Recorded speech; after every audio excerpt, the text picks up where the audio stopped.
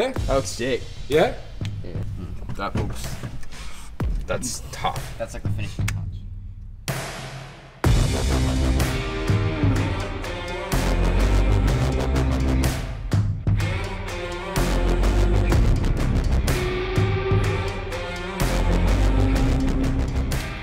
I think Ashton chose the FJ45. That look, they say the apple doesn't fall far from the tree, right? We've we've built a lot of really badass Land Cruisers over the years here at Patriot, and when um, when COVID actually hit, we were looking for a project. So the boys and I found a an old FJ45. You guys have seen it throughout the series, the um, the COVID FJ.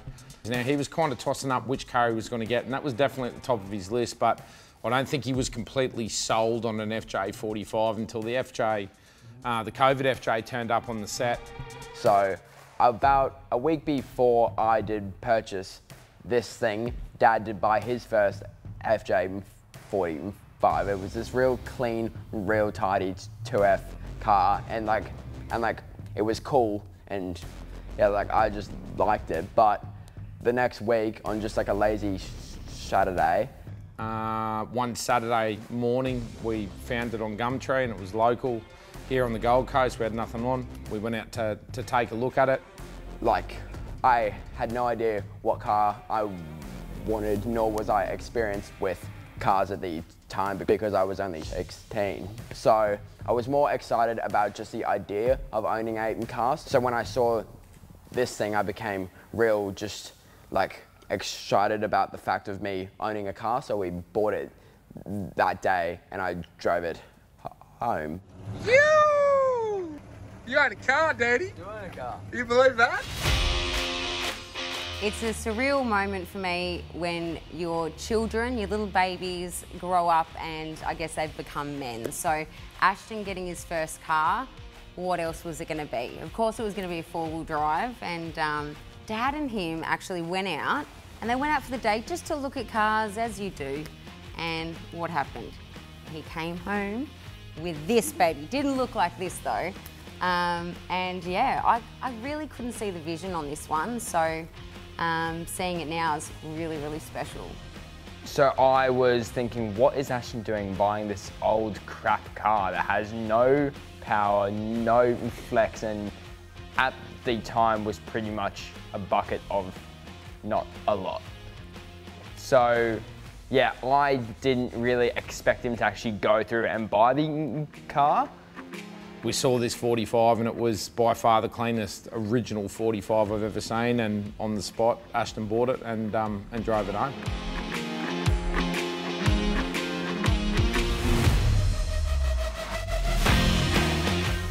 And then obviously because because I owned an FJ40, I did the research and I watched all the YouTube videos and saw how how much of a nostalgic piece of like history these cars are. I began to more so appreciate what the car was and and how this car has pretty much built the whole entire country. These have now over the past two or so years become my favorite car of all time. They are just badass and cool. So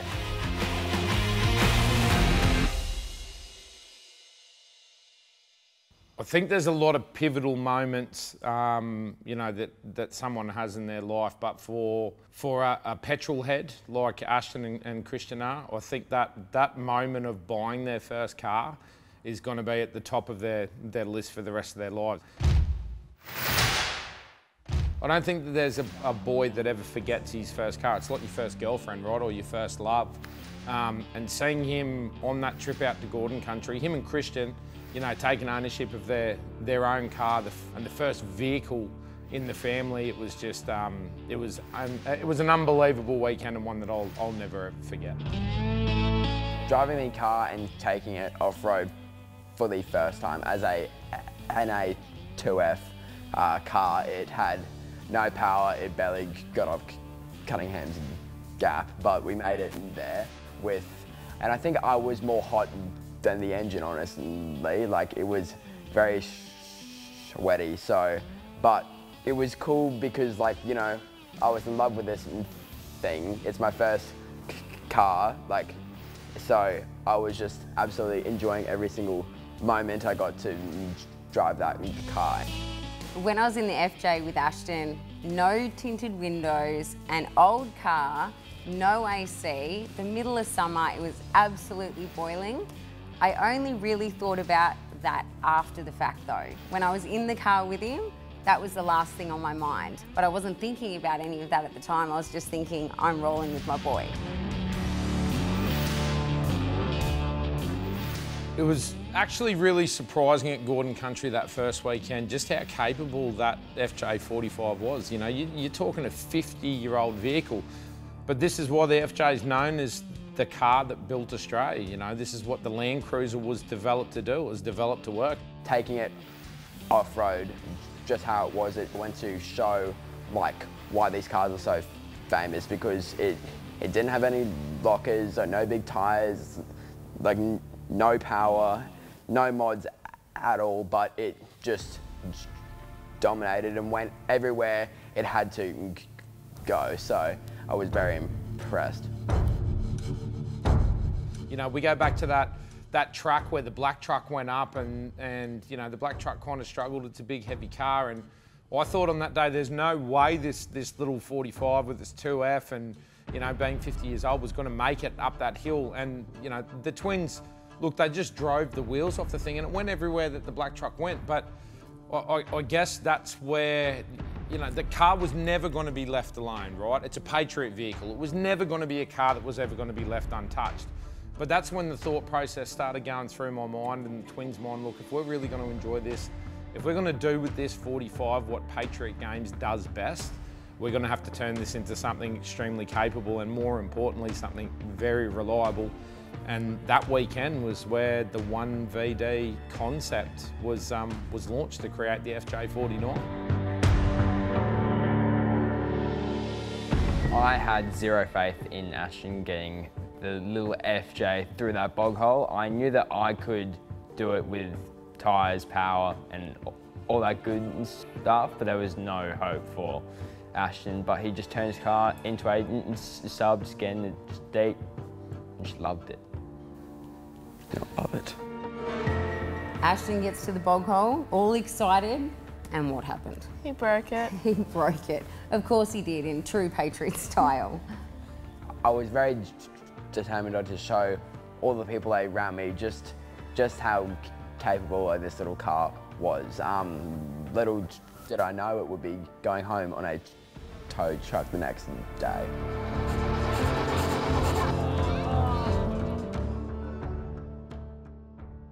All right, so me being experienced and not knowing what was going on um, with a car with no snorkel and a airbox that probably didn't seal too well. I just kept on like driving it and just seeing how far I could go because I really wanted to go as far as the bit like truck and shifting in and out of first and reverse like all the time. Um, yeah, it it ate a little bit of water and the clutch decided it didn't want to work anymore, so didn't come out too good clutch is full of mud and just doesn't work. Like I chuck it in first and I can just let let the clutch out. Well, after the, the mud punching episode with Ashton and, you know, obviously no snorkel, standard car, petrol motor, all the rest of it, um, and the car was put on a tow truck that weekend to go back home, that's when um, that's when it really, that's when it got real. That's when the discussion really came to life and, and I was prepared to support the kid and, and turn it into something that was going to be a lot more capable. I wonder if if he didn't do that bog hole and he didn't get stuck and he didn't almost ruin the car and get towed home, do you think they would have gone to this extent? I don't know, probably not. Probably not. I feel like they had to rip it all back, start again anyway, and of course, boys being boys, they just get excited. How is he? He'd come home, he's, I want to do this, I want to do that. Yeah. Always talking to you about it. And now we're finally at the end.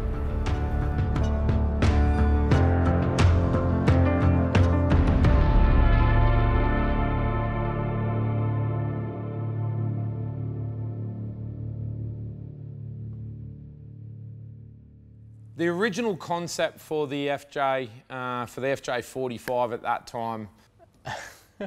um, So every build here, it always starts off with a baseline plan. Well, there's probably a little bit more involved in it than what they thought at the start, I'm thinking. I mean, was to put a 1VD in it, throw some 79 axles underneath it, and that was it. That, that's what we were planning on doing. And then we get excited along the way and things evolve into the final build. Uh, I mean, I knew what the build was. We was going to stick, you know, the 79 driveline into the FJ, make it nice, clean, make it reliable, make it the, the new vehicle with the old school body. In true fashion, it just escalated and got really out of control really, really quickly. They, I think their original OG plan was just chuck the dirty old V8 motor in there, but there was issues with the width of the engine to fit in the chassis, and then they've coiled the front, which was a work of art in itself, and then From there we got excited. It was like bar work, it was like suspension work, it was custom fuel tanks, it was custom floors, it was air conditioning, the whole interior, all the Redarc stuff, like it just got, and then the paint. yeah, it's basically not just a motor swap. It's like motor, chassis, driveline, the whole show. And because on a 40 they're pretty small on the front, like to get all that stuff fitted under the bonnet, like you know, you got to pat the engineers on the back a bit for that. Like it was cosy, but it all works. So Like, it is gonna lay it escalated a long way, but what it turned out to be, man, it's spectacular.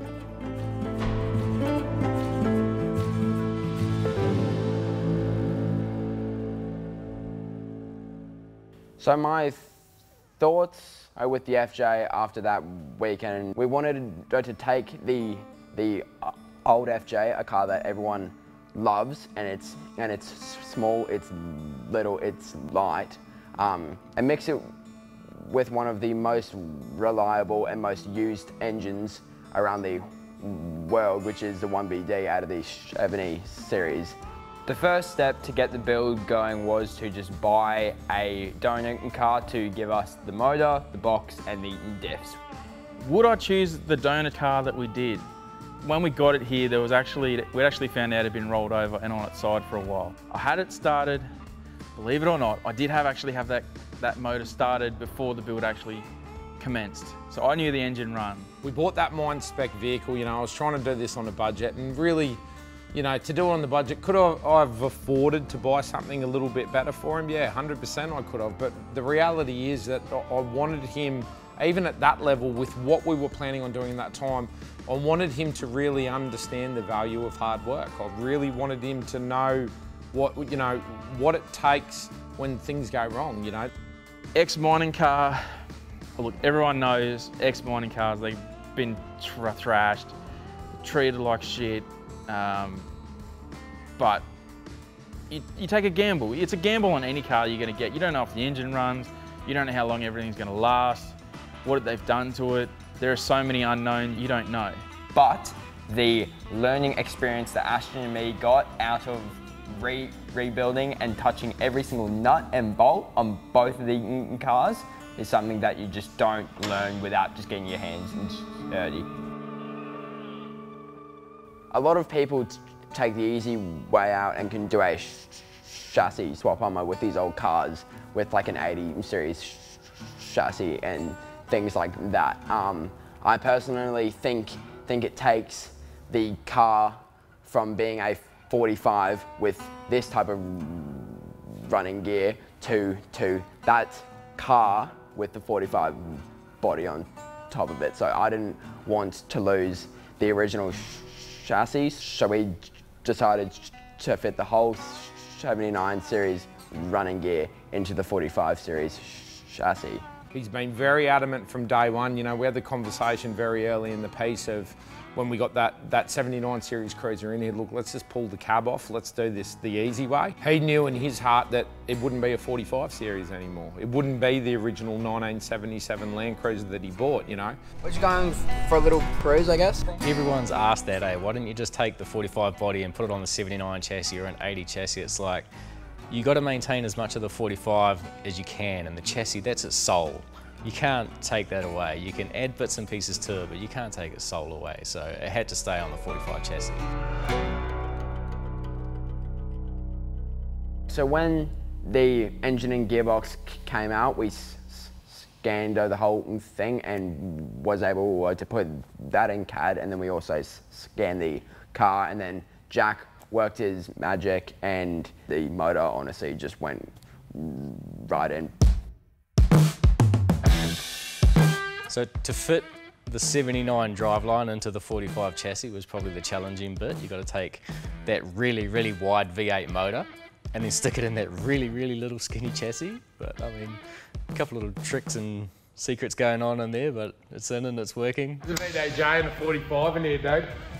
Are you kidding or what? There is no comparison whatsoever to the complexity of this build to anything that I've ever attempted in my life. I mean, this one compared to all the other builds, like this one just had everything was custom. We've never done it this custom before. I mean, every little thing was just a custom solution. There was a custom bracket, there was a custom fitment, there was custom made parts. Like, you know, we've never done it that far before. This one, it was just custom everything from start to the finish. It was different in the way that the Black Truck and Megatourer, there was a lot of the stuff already made for those trucks and they're on the market. The 49, that was, it was all made in-house. Jack designed a lot of it. So it was complicated in a way that we couldn't just run down the road or talk to someone. It was, let's do it here and we'll see how we go. Oh, it's the car, like, it's a one-off. Like, the things that people will see it from the outside and go, oh, yeah, it's just basically they've put the coil front in under it and bang the motor in. But, like, if you get under the car and whatever, you'll see how much, like, nearly every part of it, OG car is, like, got custom stuff on it. Coil converting the front was the only thing that was going to turn this into a modern day vehicle. You know, if we left leafs in the front, um, then you have all the associated problems with, with leaf springs and the biggest one being comfort really for Ashton for those long touring trips, but also the, the ability to flex that front end. The coil conversion in the rear, it really came down to budget. There's a lot of added cost to do a coil conversion in the, in the rear. I know looking back at it now, yes, we went overboard in a lot of instances and we could have done this a completely different way. Um, but I really wanted to give him something to look forward to in the future. I didn't want him to jump in the car and the car's done and it's gone to, you know, the, the novelty wear off quickly. So there's still a lot of opportunity for Ashton to customise this into the future and keep building on the base platform that I think's um, that, that, that we've really nailed for the fundamentals on what the FJ49 had to have. Yeah, it's gonna, like, put it this way, it'll scare an everyday person off doing that to a Stando 45 chassis. Like, just, I don't think anyone else would have ever try it. Unless you're someone who's attempted a build like this, you don't know how much is involved. And when you get down to the nitty gritty of it, it's just. The amount of skills that we have learned from the people here at Patriot is insane. Learning just general mechanics from everyone that has been in the shed giving us a, a hand. It's insane and we could not be better off anywhere else. Yeah, the motor was in and we had to fit all, make all the mounts and everything for the radiator and intercooler and all that on the front. We started that and got everything sort of dummied up so it would run. Um, getting in the factory intercooler and the factory radiator was always going to be a struggle just because of the sheer size of them. So we, we lent on PWR to come up with a concept of an intercooler and radiator with a thermo so we could get rid of the standard engine fan and that means that we could fit um, you know, the whole package of the 1VD and the cooling system inside of the 45 engine bay without really heavily modifying um, the inner guards. Dad always says it's not what you know, it's who you know and with the people and connections Dad has, we have been able to do a lot of cool things and learn a lot of cool things. There isn't one moment where there was the best. There's kind of a bunch throughout the build. Like the first time that the engine, I was in the the engine bay, uh, that was a big tick. And then there's and then there's of course the whole build up on that night of getting the the engine actually fired up. It wasn't going, it wasn't going, like all hope was lost and then just one plug had to go in and boom, it fired right up. So that was a big moment.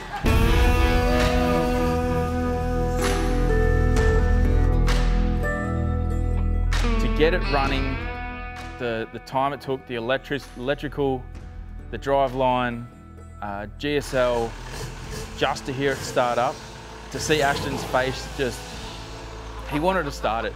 I think he started it about 10 times that day. Just every time, just he started it and started it and started it. Um, it's a good feeling to know that it, it ran. Um, let's, let's see how far it goes. Big success, I reckon, the look on um, Ashton's face and when he went over and baked that skid next door. Obviously, doing doing my first burnout in the car that I've built and has took me ages to do, that was a big tick. And like the last point where it, big fireball at the end, that was just on point. Nothing like chucking a good skid for a young fella.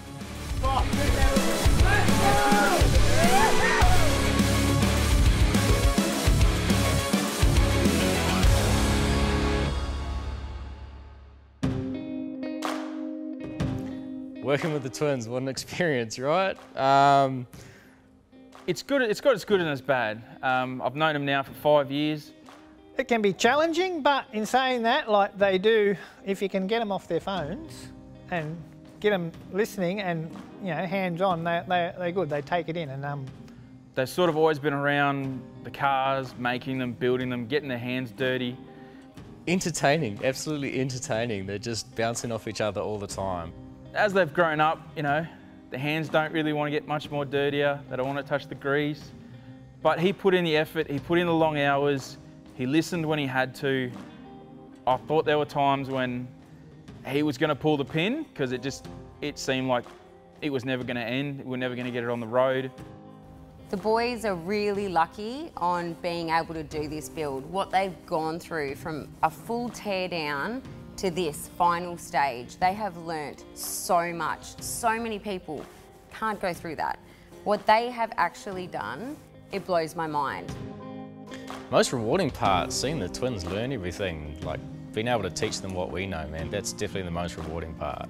Teaching the twins like stuff, like um, it was good from the start to where they are now, like that they are good. Like it was, it was very rewarding, like teaching like my old school stuff to the boys and watching them pick it up. And for someone that wants to come into a trade, which is hard nowadays to get kids to do trade, but at the end of it, if they'll stick it out, they'll turn into good kids. Like the boys are coming of age, they're learning new skills. Handing on the knowledge that was given to me is it's always rewarding. So yeah, when we did the Mega Six, they were real young kids then. I mean, we gave them an angle grinder and I think Steve was pretty nervous handing them an angle grinder when we did that, but now you can just, you can sort of explain what you need out of them and they, they go to town, man. They're all over it now. They're so well experienced. This car, the build, they've learned so much and I wonder if they're going to do another one. What do you reckon? I don't know. Don't know? Do you want them to? Or do you miss them because they were never home? I want them to. And like, man, after that, I'm sure they got anything covered, eh? So working with all those boys over the past 18 months, they have become more than just the workers at Patriot for us. They have become really, really good mates of ours who could not do enough for us and we could not thank them enough. To see the team, you know, Jack, Harrison, Steve, Pedro, and everybody behind the scenes that you don't see on camera, the, the spring back in everybody's step now that the FJ is completed, that everybody has a sense of accomplishment that, you know, collaboratively we did this. Yeah, it's Ashton's car, but everybody has got their own stamp on this vehicle.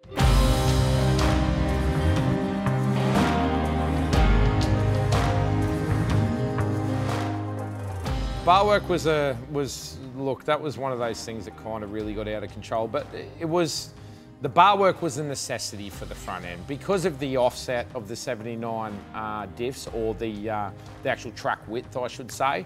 Um, the only way that we could get that track width under the front end was to extend the front guards. So at the time when we didn't really know that we were going to take this car to the, to the level of build that we did, it was more about Ashton having the ability to go and wield this thing with his mates, go and tip it in on ruts and, you know, scrub past trees and all the rest of it without damaging that perfect FJ45 body. And that's where the bar work kind of came from. Now, you know, the skill sets that we use, Pedro is a master, master fabricator. He's, look, he's honestly probably the best I've ever seen. The utilisation of those skills and, and, you know, we coupled that up with the technology that we had through scanning and um, obviously the, the uh, computer-aided drafting that you would have seen right throughout the episodes and the bar work on this thing is just, it's, it's next level, but it's not there just, just for looks. It's there to protect the vehicle, but that kind of flowed on a little bit as well. You know, the exo cage bar work, again, we had the ability and the capacity to do it, and, and that was really installed for Ashton's safety. You know, you see one of these things in an accident, they are literally a Coke can. They squash like a Coke can. So I wanted to ensure that my son was going to be safe, and um, that's, that's where that kind of escalated as well.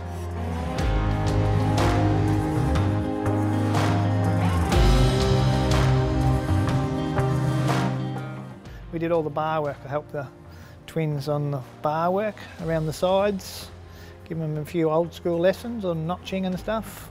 So Pedro has taught me a lot about fabrication, uh, first and foremost, a lot about four-wheel driving and, and also a lot about how to appreciate patrols are just a little bit more than what I used to.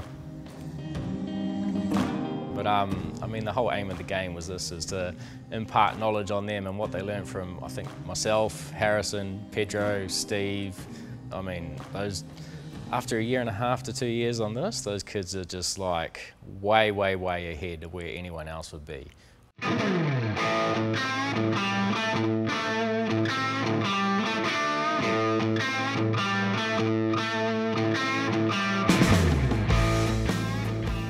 And when it came to the job, it was um, it was back and forth. Look, realistically, there was never an intention from the start to paint that that cab. There was, we were never going to paint that body. It was going to be a Saturday afternoon. We were going to put a clear coat over it. That was the plan, just to protect it from rusting out anymore, because that was Ashton's favourite part of this car, and it was my favourite part of the car as well. But once we'd gone to the level of repowder coating the frame, powder coating all the bar work, and everything was starting to come back together out of necessity, you know, the surface rust that was on the axles and all the rest of it. From the start, we weren't planning on doing any of that, but again, we have the facilities to build it to that next level, so why not utilise them and, and build this thing into something that was going to last, that he wasn't going to have to tear it down again in 12 or 18 months. So once we started reassembling the car, it was like, okay, well look, maybe we shouldn't clear coat it here, but I know a guy who can do a really good job on it. And that's where Nathan from Living Loco came into it. So originally I wanted the car to be all brand new on the bodywork side of things, but working alongside the car, I thought those couple of years I fell in love uh, with the way it just looked like an old farm truck because because that's what it was like at heart. So I didn't want to take that away from the car. So I said I just wanted it clear coated and the boys at Living Loco did not take that for a answer. So they, they did end up repainting the whole car uh, just like how you see it now and I could not be happier with the end result. And to be honest, I don't really know how it came uh, across in the episodes that everybody saw. We had no idea he was going to take this thing to the level that he did. Yeah. Oh my god. Come up front. To the Go up there. Bruh, are you serious or what? I didn't think you were, I thought you were painting today.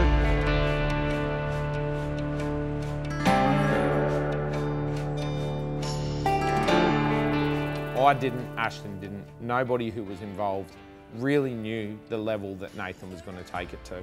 But once Nathan started digging deep, and this is, this is what comes about when you're dealing with the people that, that, that we only deal with. We only deal with the best. We only associate with the best. And Nathan really wanted to showcase to the world, I suppose, what he was capable of doing.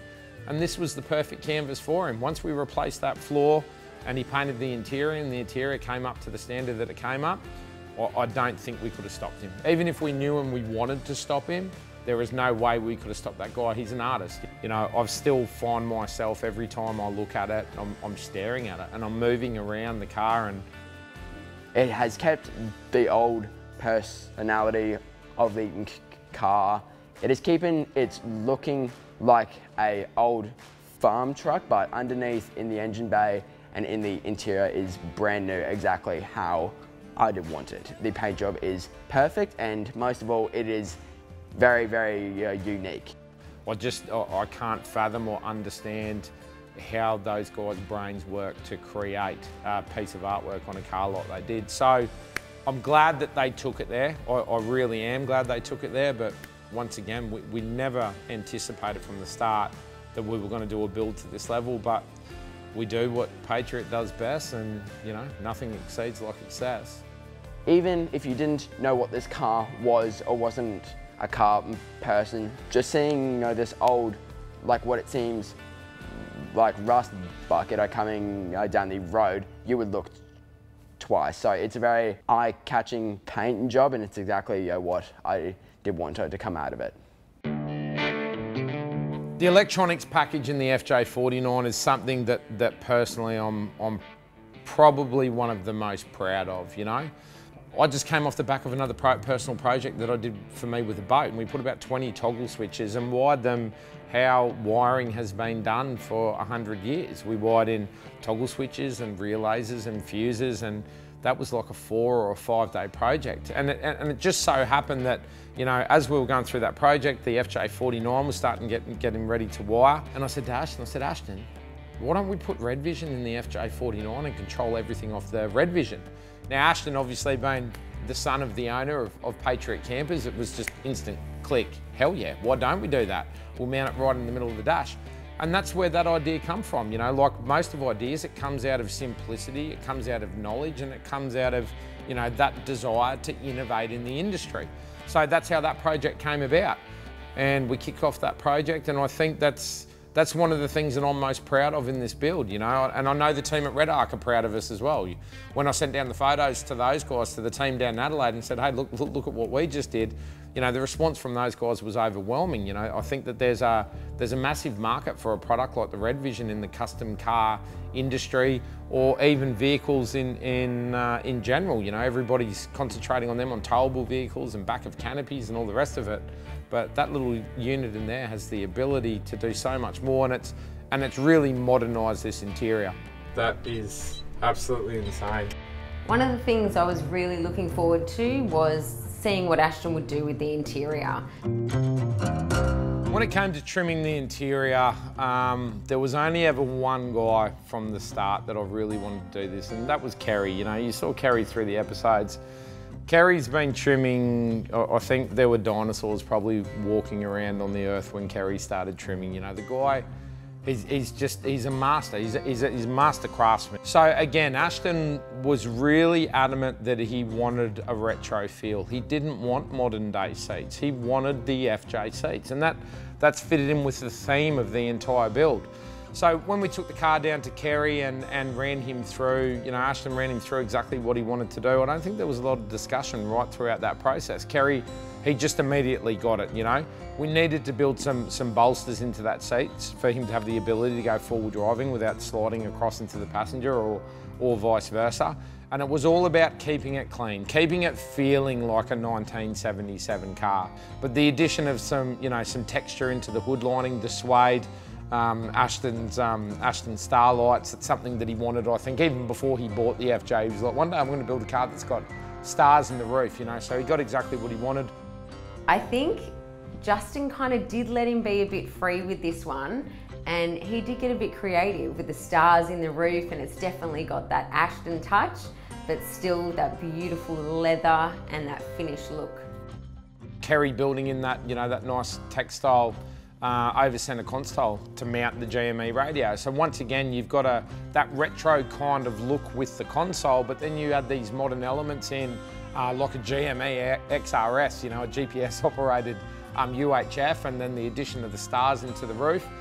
Um, the Nardi steering wheel, you know, perfect, perfect fitment, you know, modern day leather with that with that 1980s, you know, the Nardis. I remember back in my drifting days in, you know, the late 90s, you know, that three-spoke Nardi wheel, that was like, mate, if you were legit about drifting, you ran an old school Nardi steering wheel. So I think everything that has gone into that interior, it is the perfect mix of modern day features without losing the soul of the FJ45.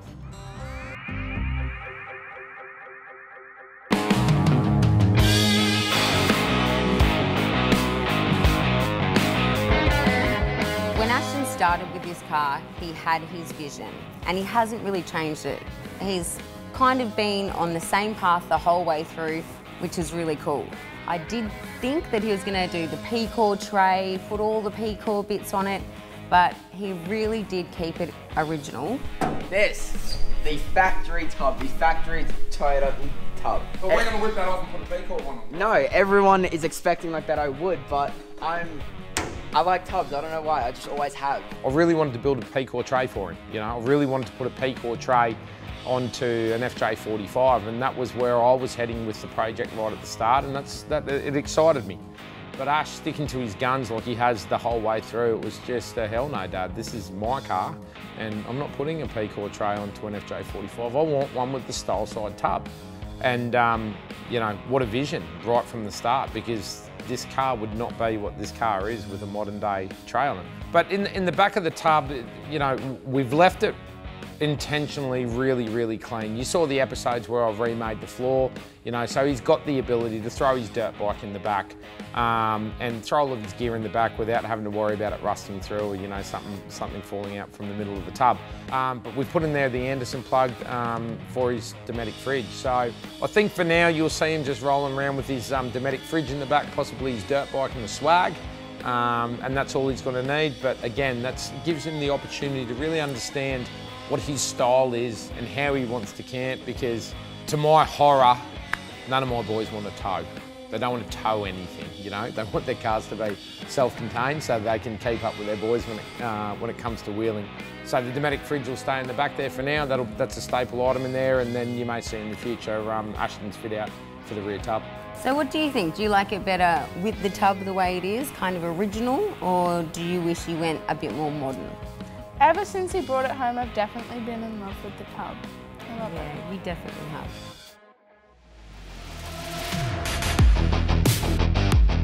Wheel and tyre choice. Look, from the start, you know, the PCOR rims was, uh, I don't think you had much of a choice there, to be perfectly honest with you. The thing had to be rolling on PCOR rims.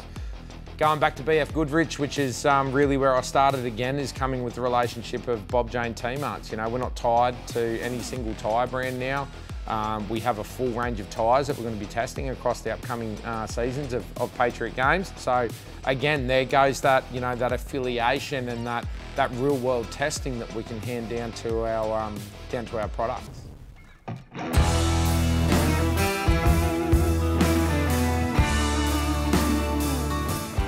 The commitment that GSL have made um, to this build. These builds don't happen without commitment uh, from people like that. Those guys behind the scenes from day one, it's all of the technical advice, all of the parts that we were missing. You saw bits of it when we went up there and you know, Ashton's gearbox were a little bit sus on it. They had a, you know, gearbox sitting out the back that I don't even know what those boxes are worth. Yeah, boys, take that. If you need it, take it. Let's go to the old shop. Let's go get a block. Let's go grab these parts. But it was almost a daily event that something was turning up here from GSL. Mate, have you got this switch? Have you got that switch? If Scotty or Luke didn't have it, they went and got it. So when you saw in that final episode that, um, that the build finished at GSL, that's where it had to finish. That's that's the FJ49 second home as far as I'm concerned, you know. The tune went um, really well. I, um, I actually called it, you know. I, I, called it the night before. I said, mate, this, this car's making about 120 odd horsepower. Put on the dyno, 125 horsepower. Scotty figured out straight away it was in limp mode. Straight onto that, got the car to the 200 horsepower mark, which is where a standard 1VD or a lightly tuned 1VD really should be. Goes good, eh? So the reality is it probably goes very similar to a standard uh, 79 series with a light tune, but it's enough power um, for Ashton. It's, a, it's, it's, enough for what he needs. Uh, that 200 horsepower with the Harrop E-lockers, this thing's gonna go absolutely everywhere that he needs it to go. Harrop's another brand that, um, you know, again, no questions asked. When Patriot says we're building something, the team at Harrop are, are right behind us and to those guys, um, thank you very much.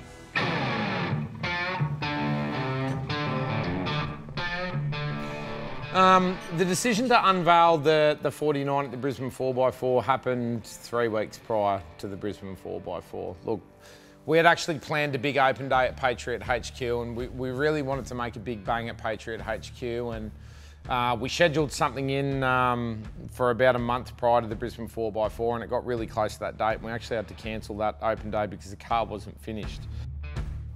It is always really good to have a set date of when the car does have to be done for a certain thing. So, so having the 4x4 show coming up, it just like motivated me to just get the thing absolutely done and finished. And now, it's funny how, you know, it's the sliding doors theory in life, is it not? You know, one door opens, another one closes. It had to be the Brisbane 4x4. It was like, now I look back at that event, um, the choice wasn't made by me, it was made for me to launch that car at the Brisbane 4x4.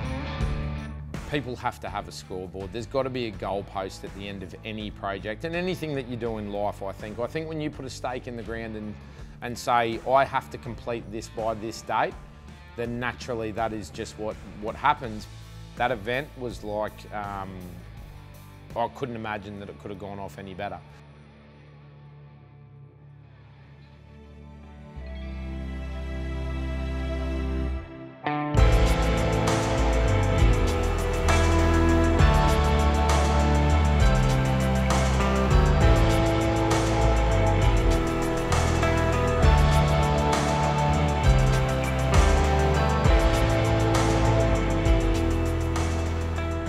Driving up to the Brisbane 4x4. I'm in the big Ram. Ashton's sitting beside me. FJ uh, is on the back. The trailer's on the back. And I've got this grin from ear to ear because I've just got these consistent flashbacks of the day that I drove the black truck to the Brisbane 4x4 show, you know? This, that was a pivotal moment in my career and to think, you know, at my age, that still stands out.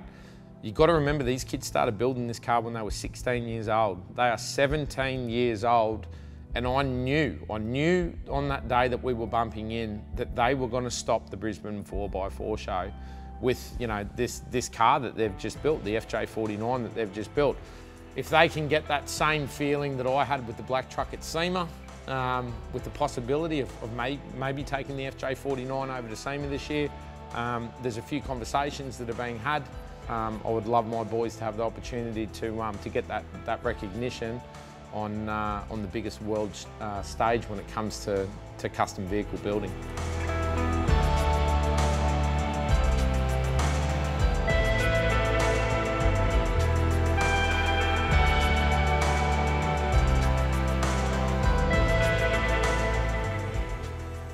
we were not expecting anywhere close to the crowd that actually showed up. We didn't know that so many people were actually going to make their way out to the 4x4 show and come by to, to watch a 45 series that two teenagers built. Like it was just insane. We are so, so thankful for everyone that, that did came out. It was definitely the best day of my life. How we going, everyone? Who's keen to see the 49? Oh, like, I am so pumped. This is like all I've been working for over the past like year and a half, so oh, I'm so keen. Just like Ashton, I'm also very, very keen to just let everyone s- s- see this. It's been a been a lot of work, so we are very, very keen to let it show. But that day up there at the 4x4 show was, um, it was intense. The crowd that came out to see, I mean, obviously we follow the, we follow the YouTube views and we know the reaction and you kind of feel sometimes, you know, the impact that you're making in the industry or the impact that you're making on the younger followers and, you know, the aspirational piece of what we do at Patriot Games. That's why we didn't change the sh- chassis and it keeps it OG, it keeps it original and yeah, it looks cool. Well, the unveiling of the FJ was everything I could have hoped and dreamed for. There was a lot of people there and everyone just absolutely adored the thing. So it was it was surreal. Like that's the only real word for it. And I don't think it was all about the car. I really don't think it was all about the car. The relationship um, that we've shown throughout this build series that I have with the boys. That's been the number one comment that I've got from everybody that I've spoken to. I didn't expect that many people to be there to see the launch of Ashton's car. It was really cool. For him to see everyone's face and get all of those accolades and be able to really take it in. I mean, so to be able to show the world, show everyone, and everyone be so happy with it and telling him it's the best car, uh, standing back and just seeing that grin on his face, that was definitely a highlight for me. Just like say uh, thanks like for everyone for the support and the nice comments and coming down here. Yeah, um, yeah, like just thank you and and yeah, I just thank you to this man right here. the number one success of the build, the highlight of the build for me, by by a, a country mile. You know, you've seen everything that we've success, uh, succeeded on this build. You've seen all the fails. Um, was Ashton's speech.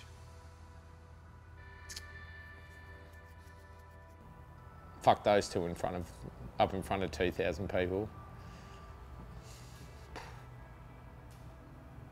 Like as a, um, you know, as a parent, and I know Sarah felt exactly the same way, you know, the, the, the emotion that we had after that day of, of seeing our boys, you know, at 17 years old in front of that crowd, um, delivering what they delivered, you know, that'd scare the shit out of people at the best of times, you know.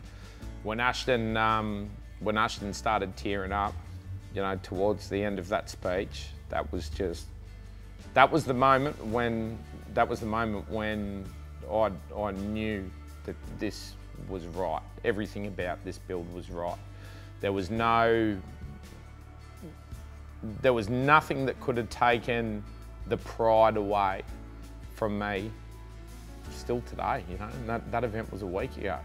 I would say mum and dad are very proud of both of us because we got this thing done and we did what we said that we were going to do.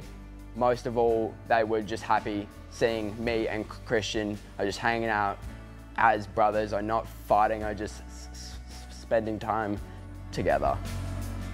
Who wants to see the FJ49? Come on, let's go! Seriously? Who wants to see the FJ49? Come on, Roll the cameras off, boys!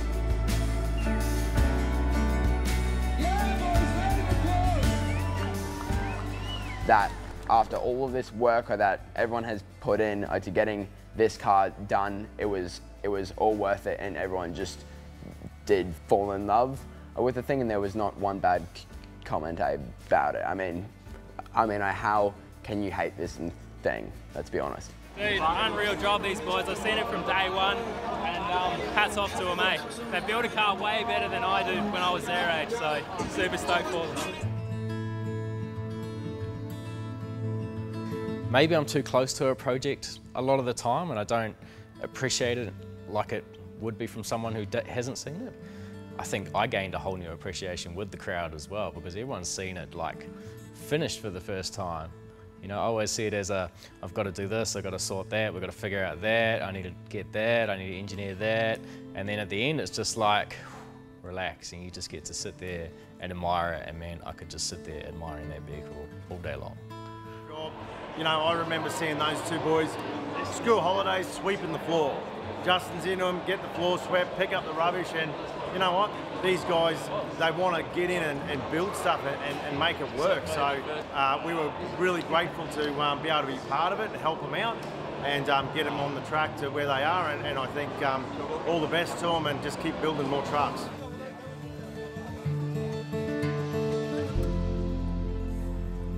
Mate, she's a work of art, there's no doubt about it. You've got to come and see this rig, it's pretty special. Mate, that FJ49 series is unlike anything I've just about ever seen before. The crowd that was there for the unveiling, the reaction on the twins' faces, I tell you what, it's a, it's a memory I want to freeze in my mind forever.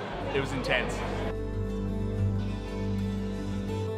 That thing is out of control. Jealousy uh, is, is, is uh, a word that doesn't quite sum up uh, how I'm feeling. I definitely am very jealous of the boys, but yeah, well done, boys. You've absolutely smashed it. It's a beast.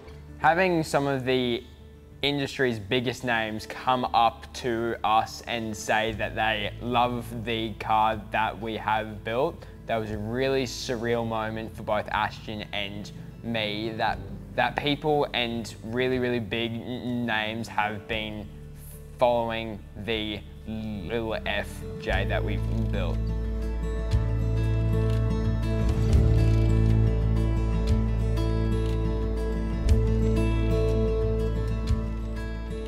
I think when I see this thing out on its first trip, I'm probably going to shed a tear, to be honest. It's been a long journey to get here, and obviously this is the biggest passion project we've ever done. The four-wheel drive of me is saying, let's go to Genoa, let's go to Land Cruiser, let's find the, the worst tracks possible, let's see how this thing bloody goes. I still want to see him, I want to see him tour it, four-wheel drive it, get it in the tricky positions, get the winch out, learn how to winch, experience everything that we've done for him for that FJ, and just use it. 100% use every part of that truck. I've got to wonder, now with his own car, is he going to venture out with his mates? I mean, his mates have been waiting for this build as well. I can see every weekend, every waking moment that he's not at trade, um, getting out there, getting off the beaten track, and hopefully we'll be invited sometimes. I think that they'd secretly be happy to do this all over again. I 100% agree.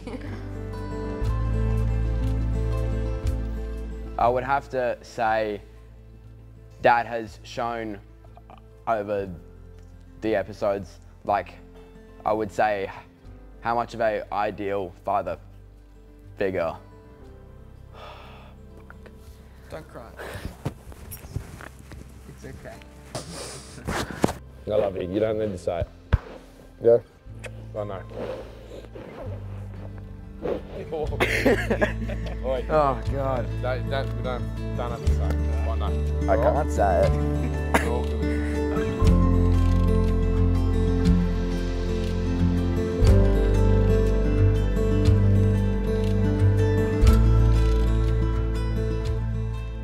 I don't look at this build as an expense. This build is a major investment. I'm investing into them to have the skill sets of all of the people that are around them, you know, have the exposure um, to all of these different skills that you've, that everybody's seen them learn right throughout the build. I'd, I would give the kids the world if I could. And um, if that means them having one of the most badass trucks in the country, um, well then I feel like I've succeeded as a parent.